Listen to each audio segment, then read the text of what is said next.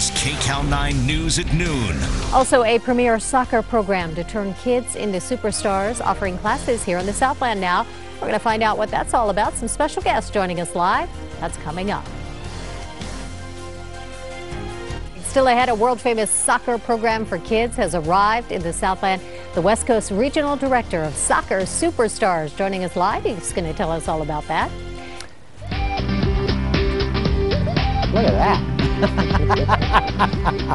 I love it. Kids are having fun, getting great exercise and learning a sport all at the same time. Super Soccer Stars is the world famous soccer program with hundreds of classes right here in Southern California. How cool is that? Joining me now is West Coast Regional Director Bob Gibson, and you've got in spring enrollment going on right now. It's, Sure, it's soccer yeah. season, right? Absolutely, always. Soccer Tell me, season. tell me a little bit about the program. Sure. So, uh, Super Soccer Stars, uh, we are a child development-based program, Mm-hmm. and we offer classes for children as young as 12 months, all the way up. 12 months. 12 months, but What do you do? Yeah, you hold. Is, is, is mom and dad, are mom and dad holding them? or- Yeah, that's a Parent and Me movement program for 12 to 24 months, and then our actual traditional program starts at two years, which is a child development element to So, it. t- t- child development. Tell me about that. Sure. So um, we have a very age-specific and unique curriculum. Mm-hmm. So for the two to threes, it's all about the developmental, the motor skills, and as we progress through the three to fours and up, we focus more on the mobility, the socialization aspects, aspects, of the cognitive development, and then we take it all the way into uh, more of a complex soccer program. So I remember t- putting my, my daughter when she was three years old in- in, a soccer program.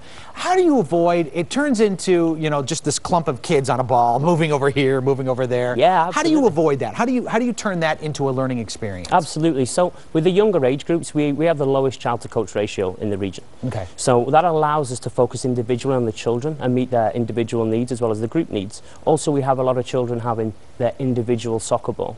You know, typically in the experience you had, you know, you might have one child who's Right. running around with the ball and everybody's on the periphery.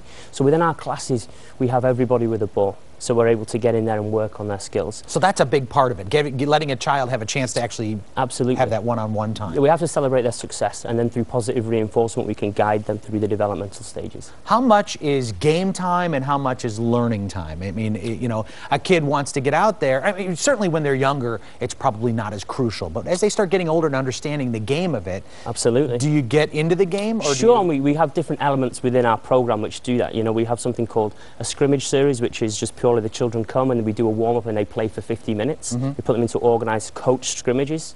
And then our traditional classes, we, we take the soccer element all the way through, with the last 20 minutes being dedicated to the scrimmage experience, again coached. So we're, we're looking for what have they learned in the class and how are we able to see it in the scrimmage setting. I love that. And coming up in just a second, so keep keep watching because you have a special deal for everybody watching. Sure right do, now, absolutely. for all of you.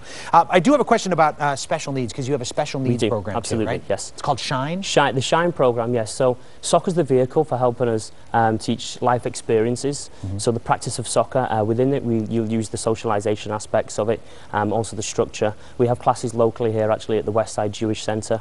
Uh, we offer that program as well as working with a couple of different organisations locally, uh, working with the children.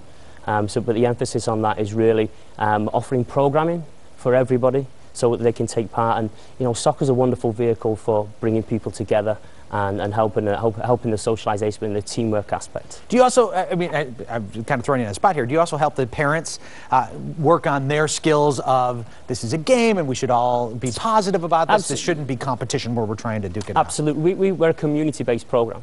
So, you know, we want our informed parents to be informed with the children as well. So collectively, we, we ask that our instructors, we, we communicate with the parents. I love that. So we can meet their needs. Okay, what's the special deal you got for us, everybody? Uh, we have $20 off the spring classes using the spring promo code. and the Uh, spring promo code is? is 14 SPR CBS. 14 SPR CBS, and I will make sure that gets to our website as well so that they know. For more information about the Super Soccer Stars program, just go to our website, kcal9.com, and click on Seen on TV. One more time for the promo code. It is 14 SPR CBS. Love it. I love it, CBS.